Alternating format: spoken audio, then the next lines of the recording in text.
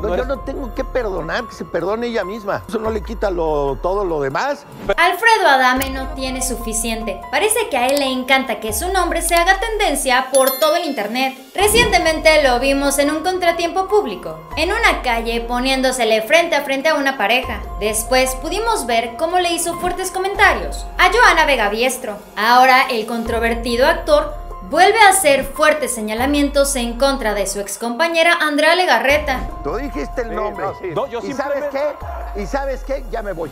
Recientemente, el también conductor de televisión de 63 años de edad estuvo como invitado en el programa Es en serio de Multimedios. Primero que nada, él tocó el tema acerca del contratiempo que tuvo en la calle, con un hombre y una mujer. Asimismo, Alfredo Adame estuvo participando en una dinámica de preguntas y respuestas. En el programa leyeron la pregunta que le hizo un usuario de Twitter, la cual dice así: Adame, ¿cuál es la persona más hipócrita que te hayas encontrado en televisión?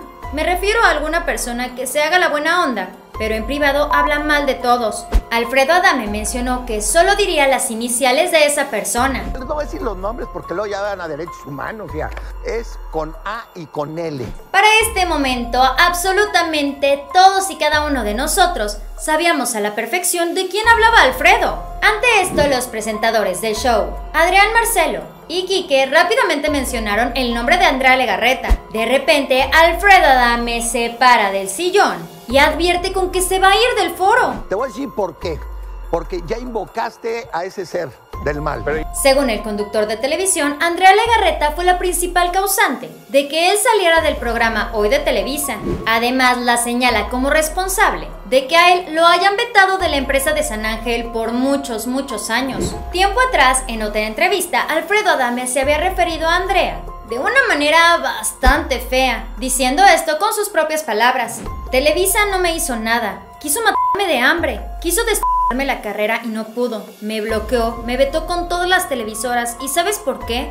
Porque todo fue por asuntos de Andrea Legarreta y su pandilla de rufines. Por si esto no fuera suficiente, Alfredo Adame también había asegurado que Andrea Legarreta le estaba poniendo el cuerno a su esposo, el cantante Eric Rubin, con un alto ejecutivo de Televisa, que por esta razón Andrea Legarreta tenía tanto poder en la televisora. yo no tengo que perdonar, que se perdone ella misma. Solo hay uno que perdona, que es el de allá arriba.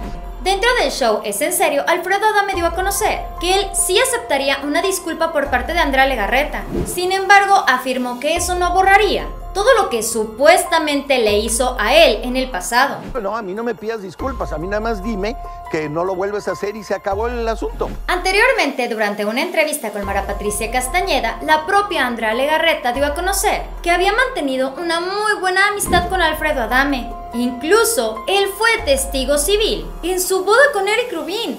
Entonces, ¿qué fue lo que sucedió? Esto fue Famosos de Cerca. Dale like a este video, suscríbete y síganos en Facebook. Espero que tengas un maravilloso día. Nos vemos muy pronto. Bye.